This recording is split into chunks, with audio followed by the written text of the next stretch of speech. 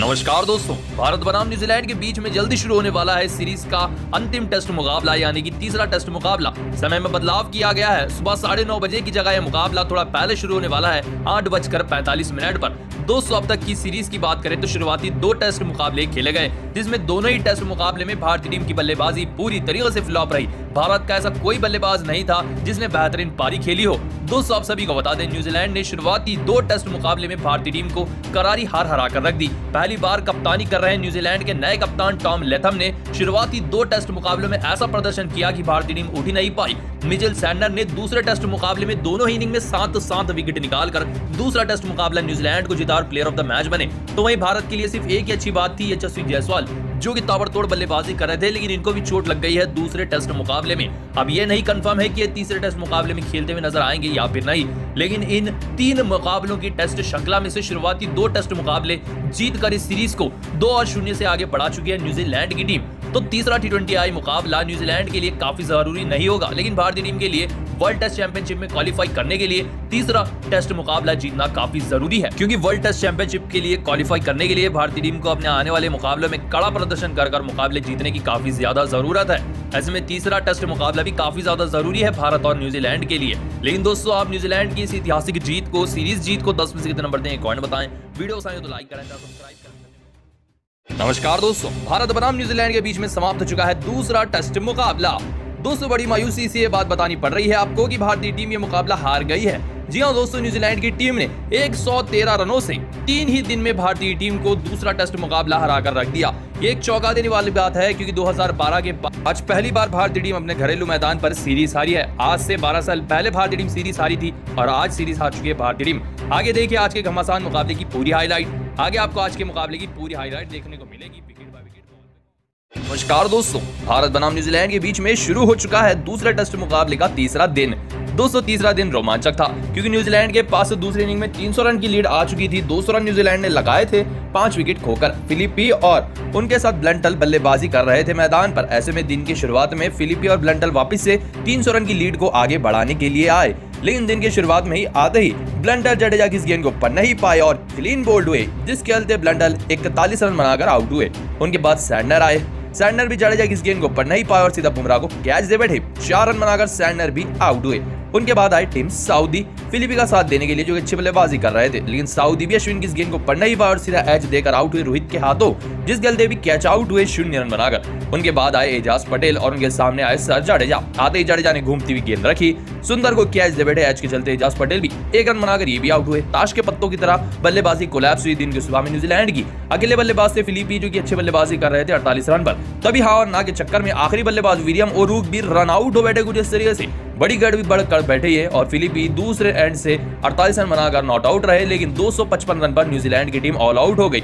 जी हाँ दोस्तों न्यूजीलैंड की टीम ऑल आउट हुई 255 रन बनाकर। भारतीय टीम ने पहले ही सेशन में पाँच बड़े विकेट निकालकर कारनामा कर दिया। ऐसे में भारतीय टीम को मुकाबला जीतने के लिए 370 रन लगाने थे। जी हाँ दोस्तों, तीन रन न्यूजीलैंड ने लीड दी और 370 रन का भारतीय टीम को टारगेट मिला। ऐसे में टारगेट का पीछा करते हुए मात्र आठ रन बनाकर कप्तान रोहित शर्मा सैंडर की इस गेंद को पढ़ने ही पार सीधा विलियम को कैच दे बैठे।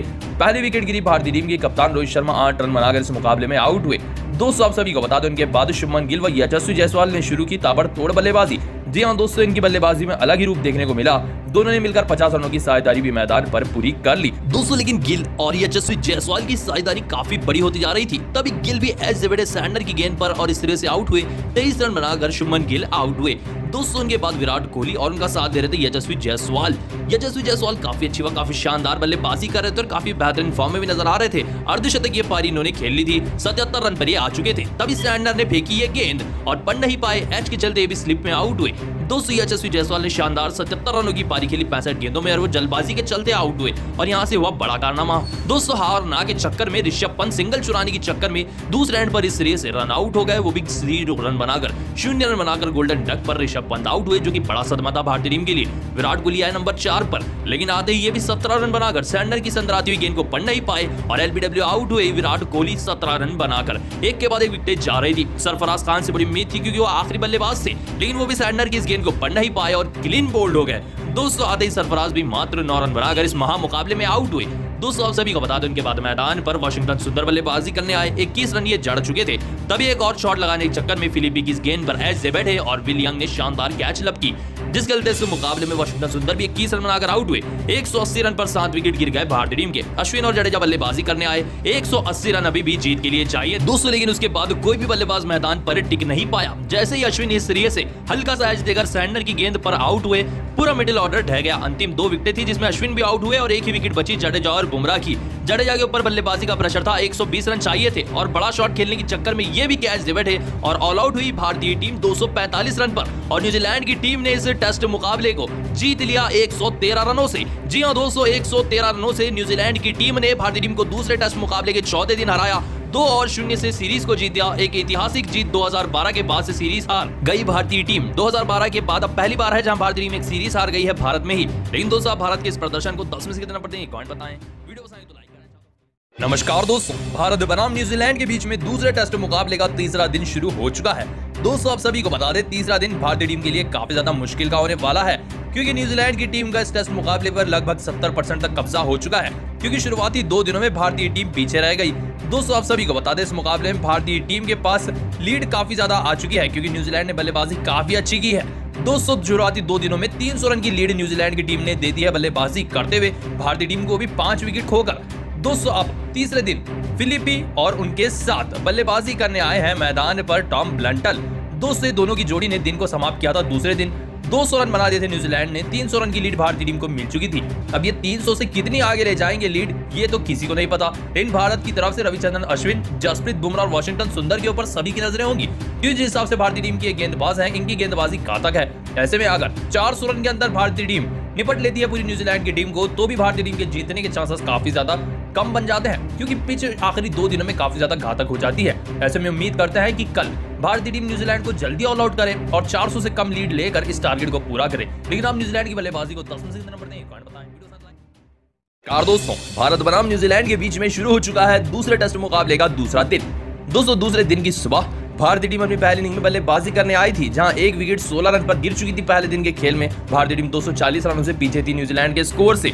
ऐसे में दिन की शुरुआत में वापस थे शुभमन गिल तीसरे नंबर के बल्लेबाज और पहले सलामी बल्लेबाज यशस्वी जायसवाल मैदान पर बल्लेबाजी करने आए, क्योंकि पहले दिन रोहित शर्मा शून्य रन बनाकर आउट हो गए थे।